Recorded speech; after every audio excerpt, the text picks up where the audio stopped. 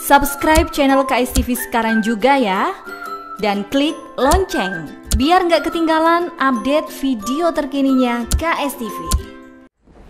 Kita beralih ke Kediri, pemirsa seorang residivis kambuhan kembali harus mendekam di rumah tahanan Mapolsek Ngadilui, Kabupaten Kediri.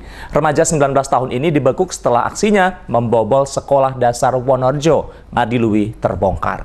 Meski sempat buron selama dua bulan. Empat kali mendekam di jeruji besi tak membuat Andri Agung jerah. Warga Bulurejo, Desa Rembang Kepuh, Kecamatan Ngadiluih, Kabupaten Kediri ini kembali beraksi dalam sejumlah pencurian. Terakhir, mereka membobol sekolah dasar Wonorejo, desa setempat seorang diri. Aksinya terbongkar dan polisi meringkusnya setelah sempat buron selama dua bulan. Dalam aksinya itu, Andri membawa kabur uang tabungan siswa dan hasil penjualan di kantin kejujuran dengan total 3 juta rupiah. Ia masuk menggunakan besi yang ditemukan di sekitar lokasi setelah obeng yang dibawanya gagal mencongkel pintu sekolah dan ruang kelas 5. Sebelum melakukan pencurian dia... Caranya kamu masuk gimana? lewat pintu depan Lewat pintu depan. dari situ lewat pintu belakang Habis itu lewat pintu belakang. nyongkel Caranya masuk bagaimana? nyongkel Dicongkel. Pakai apa nyongkelnya?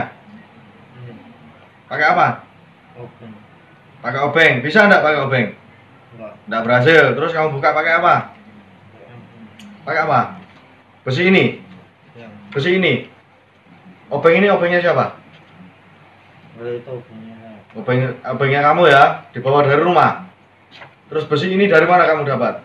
dari sekolah Dari sekolahan. Punya siapa?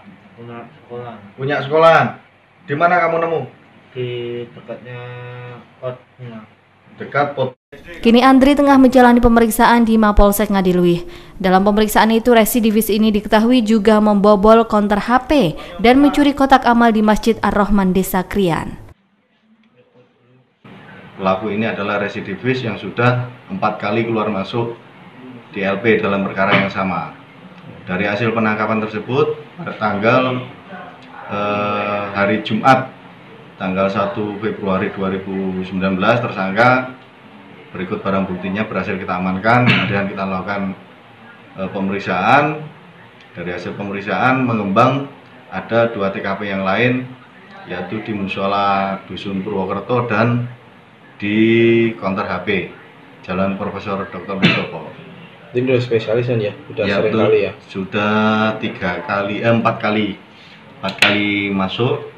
Ini yang terakhir, yang terakhir ini ada tiga LP. Andri kini harus kembali meringkuk di tahanan Mapolsek Ngadiluih. Ia terancam dijerat pasal 363 KUH pidana tentang pencurian dengan ancaman hukuman maksimal 5 tahun penjara. Dari Kediri, Yanuar Dedi, KSTV. Subscribe channel KSTV sekarang juga ya. Dan klik lonceng biar nggak ketinggalan update video terkininya KSTV.